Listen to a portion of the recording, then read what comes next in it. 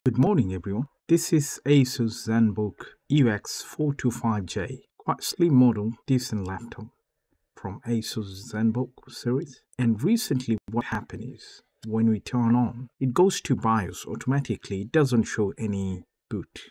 Okay, so let me show you what happened. So when I press the power button, it's stuck on the Asus logo for around let's say 30 seconds or even sometimes more and then it goes to BIOS directly. If you have this sort of situation and if you are not able to see your internal SSD in there, that might be the issue with Windows, okay? So what are you going to do? I'm going to show you how to solve the issue, okay? As you can see on my hand, there is a USB installer for Windows 11. So what you're going to do first, I'm going to switch it off and connect this bootable Windows 10 or 11 installer. And that is in UEFI format. And also while you you do this operation make sure you keep your charger connected.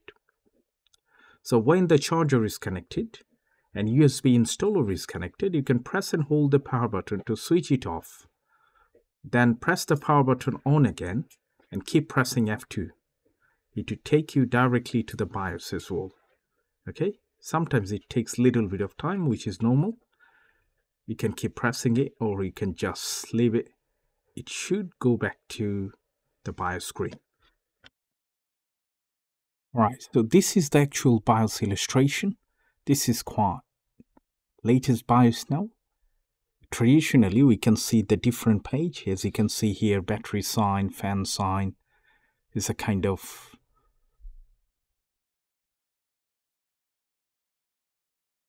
not like traditional one but if you press F7 you're going to see there is some sort of basic traditional BIOS page by pressing F7 it's called advanced mode and the other one called edge mode.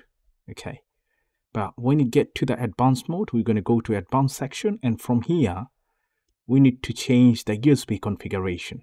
It has to be enable. So if you find anything else, make sure you click here and select enable. And then we're going to go to the security to make sure secure boot is enabled. So let's click on security and go down to the secure boot.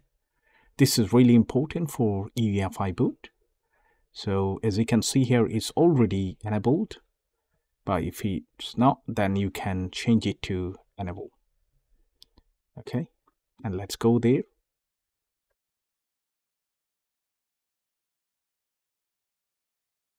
Make sure all of them are unlocked. Exactly like that. And now the last option, we're going to go back to boot option. Now let's go back to the boot.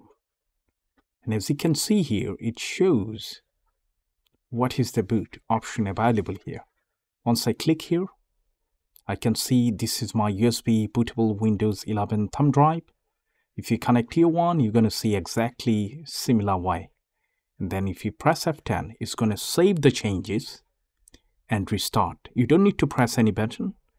It's going to straight load up the Windows setup page if you do have the correct bootable Windows installer. If you would like to know how to create one, then you can check the video link would be in the description. So as you can see, this is loading up.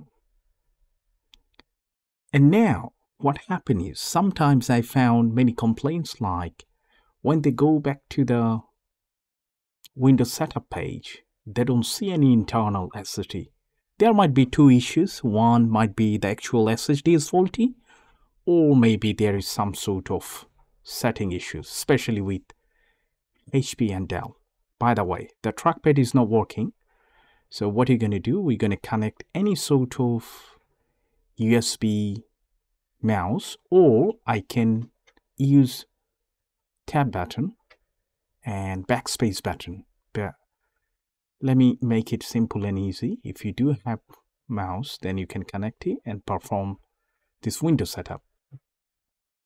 So I do have the USB mouse and I'm going to connect through a adapter because this machine does have single USB port and two type C port. So I'm going to connect right here and we will be able to use the mouse pad now. As you can see, mouse is working. Install now. Accept the terms and condition. There are two options. Go for the bottom one.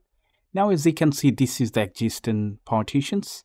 If you delete it, you're going to lose all the data. So be careful. Make sure you back up your data before you get to this point. Okay. And now I'm going to delete all of them just to create a single partition and hit next. Once I hit next, it's going to load up, copy all the files and folders to the Windows directory and it would finalize. Maybe it's going to take a couple of restarts, which is normal. And I'm going to see until the end if this boot is successful or not. By the way, if you don't see your internal drive, as I said, double check, open it up, check if this is physically okay, your SSD. You can connect into different computer or you can use any sort of adapter or caddy to connect into different PC to see if the internal SSD is recognizable by another laptop. If it does, then once you format it, it should be fine. But if the drive is not recognizable, then obviously something wrong with the hardware, you might need to replace your SSD. But for Dell and HP, especially for 10 to 12 13 gen processor from Intel, it does happen quite a lot because the VMD settings is not enabled. But on Asus, it looks pretty straightforward. If it doesn't show and if your SSD is physically fine, then I would suggest you to find if there is any settings called VMD. V for Victor, M for Mike, D for Delta, okay? So the setup is almost done and now the most important part is to have the drivers. What happens is when you reinstall freshly reinstall Windows, you might have a lot of issues with the drivers, okay? Most of the time the trackpad doesn't work, then there is no sound, and you can see the screen is not clear even sometimes some model the Wi-Fi drivers doesn't get up to date by default so what you need to do in this situation you might need to have external mouse you might need to have wired connection for internet or external USB Wi-Fi stick to connect into internet. Now we're going to create desktop icons to see how many drivers are missing. Right click on this PC, show more options, manage, and from here, if we go to device manager, you can see there are lots of drivers missing as you can see that yellow marks in there. So we need to have first of all Wi-Fi connection. Luckily that model Wi-Fi drivers get up to dated by default. So we're going to connect to Wi-Fi and update the drivers. If you would like to know how to update drivers in many different ways, let me know in the comment section. I'll try my best to help you out guys. Thanks for watching. I hope I'll see you in the next video. Bye for now.